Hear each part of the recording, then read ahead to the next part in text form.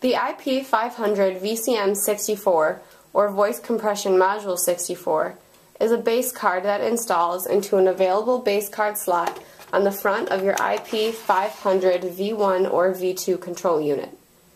It provides voice compression channels that are required when using IP telephones or IP trunks.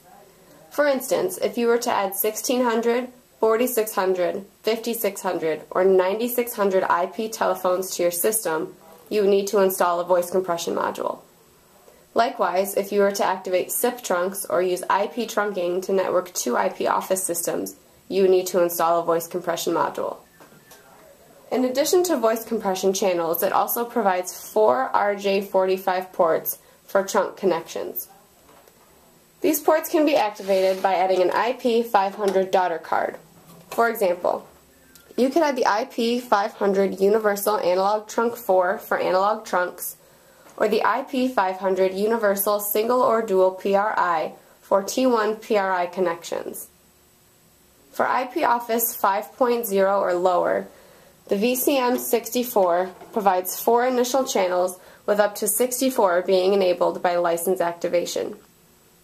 A general rule is a maximum of six IP phones per VCM channel. A more conservative ratio would be around 3 to 4 IP phones per VCM channel. Therefore, for IP Office 5.0 or lower, the more IP telephones that you add, the more VCM channels need to be activated.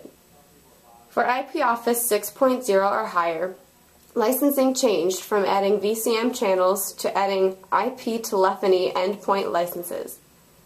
For IP Office 6.0 or higher, the VCM64 comes with all 64 channels activated and includes 12 IP telephony endpoint licenses.